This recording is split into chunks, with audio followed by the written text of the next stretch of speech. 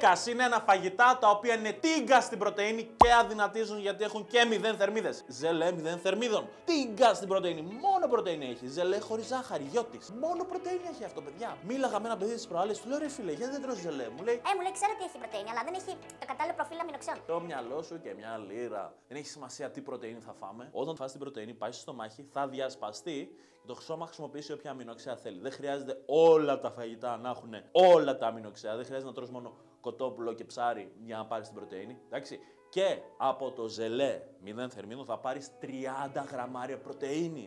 Τσούκου, τσούκου, τσούκου, φασούλι, φασούλι, φασούλι, γεμίσει το σακούλι, κάνει μία, φύγει το λίπος. Μόνο πρωτενη. Απίστευτη επιλογή. Πάμε στο επόμενο, το οποίο είναι γιαούρτι 2%. Εξαιρετική επιλογή. 16 γραμμάρια πρωτενη, ανακεσεδάκι. Περισσότερη πρωτενη από την ηλίθια την πουτίγκα που έχουμε στα Lidl. Τους λέει τι, πουτίγκα πρωτενη. Και τι έχει, έχει 10 γραμμάρια. Και το κανονικό πόσο έχει, και αυτό 10 έχει. Γιαούρτι 2% οπωσδήποτε. Πάμε στο επόμενο. Cottage. Χαμηλών λιπαρών. Εξαιρετική επιλογή. Τίγκα στην πρωτενη. Πάρα πολύ ωραίο. Μπορείς να το φας αντί για ψάρια, κοτόπουλο και αυτά. Μπορείς να βάλεις cottage. Εντάξει. Εξαιρετική επιλογή. Τώρα συνεχίζουμε στη λίστα. Αλλά εάν θες να δεις βήμα-βήμα πώς να φύγει η κοιλιά, μπορείς να πατήσεις το προφίλ μου, να πατήσεις το σύνδεσμο που έχω στο προφίλ μου και να αρχίσει να βλέπεις αυτό το δωρεάν σεμινάριο που σου δείχνω ακριβώς πώς να το κάνεις κι εσύ, πώς να φύγει η κοιλιά και; Πώς να χάσεις 10 κιλά μέχρι το πα τρώγοντας. Λοιπόν, πάμε στο επόμενο το οποίο είναι σκόνη πρωτενη. Προέρχεται από το γάλα, αλλά το μεγάλο λάθος που κάνει ο κόσμος τι είναι, το πίνουνε σε shake, το πίνουνε. Μέγα λάθος. Δεν πίνουμε τις θερμίδες, τι κάνουμε, το βάζουμε στο γιαουρτάκι.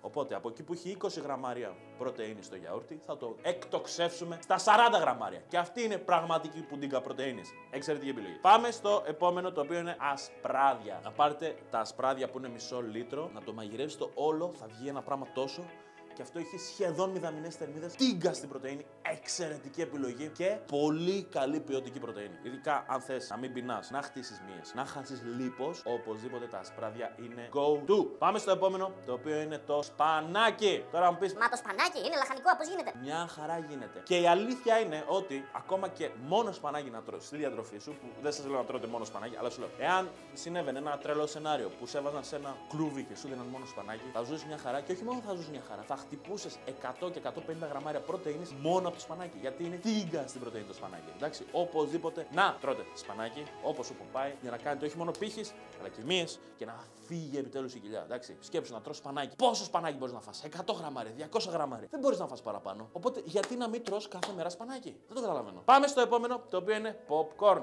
Πάλι μου λες, Τι, το popcorn, πώς γίνεται το popcorn; το popcorn εξαιρετική επιλογή. Έχει 10-15 γραμμάρια πρωτενη που το popcorn το τρώμε σαν υδατάνθρακα, δηλαδή σαν συνοδευτικό ή σαν snack. Αλλά έχει ένα έξτρα θετικό, είναι τίγκα στην πρωτενη. Οπότε τρως την πρωτενη σου, το γεύμα που έχει το κοτόπουλο και αυτά, και θα φας και τα popcorn και έχεις άλλα 10-15 γραμμάρια μόνο από το popcorn. Εξαιρετική επιλογή. Πάμε στο επόμενο, το οποίο είναι φιλέτο κοτόπουλο. Εξαιρετική επιλογή, φιλέτο κοτόπουλο. Τώρα μου λένε, Μα δεν θέλω να τρώω κοτόπουλο για το. Εντάξει, σου έχω πει άλλες 7 επιλογές μέχρι τώρα. Αλλά το κοτόπουλο παίζει ρόλο πώς το μαγειρεύεις. Πηγαίνετε στι συνταγές μου, δες πώς το κάνουμε στο air fryer, μπορείς να το κάνεις στο φούρνο, μπορείς να το κάνεις από εδώ από εκεί. Δεν χρειάζεται να το κάνεις μια σόλα κοτόπουλο. Μπορείς να το κάνεις ωραίο. Εντάξει. Εσύ φταίει που δεν ξέρεις να μαγειρεύεις ή είσαι λούστης. Εντάξει. Ό,τι και να σου δώσουν θα το λούσεις. Δεν είναι το κοτόπουλο που φταίει, εσύ φταίει.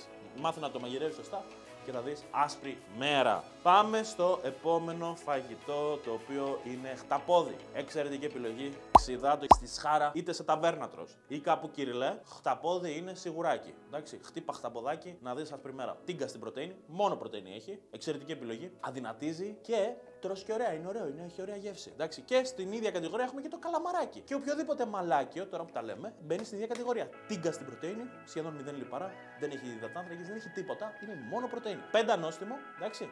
Οπότε αντί να πηγαίνετε να τρώτε βάγκο, μπριζόλες, μαλακίες, αυτό, το ένα το άλλο, μακαρόνια. Μα είμαι μακαρονάς.